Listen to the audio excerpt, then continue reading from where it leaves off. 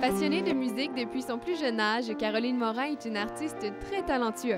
Ça a commencé vraiment quand j'étais jeune. Je faisais des petits spectacles d'école, puis à un moment donné, ça a continué. J'étais allée étudier en musique. J'ai une technique professionnelle de musique et chanson à Drummondville. Une passion qui lui permet de s'exprimer. Je pense que c'est, c'est transmettre un message, puis j'aime tellement le monde que être devant les autres, ça, ça me libère. C'est une libération pour moi. Puis quand je chante devant les autres, c'est la meilleure chose qui peut m'arriver, je pense.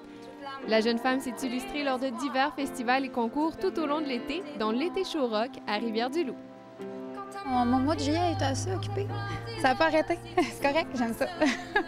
La louprivoise gagne à être connue. Elle a d'ailleurs remporté le coup de cœur du public et la deuxième place au concours Trois pistoles en chanson. En dedans de toi, tu fais comme Wow, OK, c'est parce que le monde aime vraiment ce que tu aimes faire. Je, je, je, trouve que j'ai un potentiel, mais en même temps, c'est toujours le fun de se le faire dire parce que des fois, tu n'es pas sûr de ce que tu fais. Caroline Morin a tout pour réussir. Bien, je pense vraiment ma personnalité. J'ai quand même une personnalité assez forte. Euh, disons que je suis pas vraiment gênée. Je vois beaucoup les gens qui la reconnaissent davantage, puis qui sont fiers d'elle, puis qui la suivent. Oui, oui, une belle évolution. Généreuse, euh, souriante, elle aime rire, trop des fois. elle, est, euh, elle est simple. Elle est, euh, elle est très sociable, elle, est, elle aime les gens, elle aime donner beaucoup, elle est, elle est très... Elle a un grand cœur. Caroline Morin poursuit son rêve. Elle sera en première partie d'un artiste international l'an prochain aux Grandes Fêtes du Saint-Laurent à Rimouski.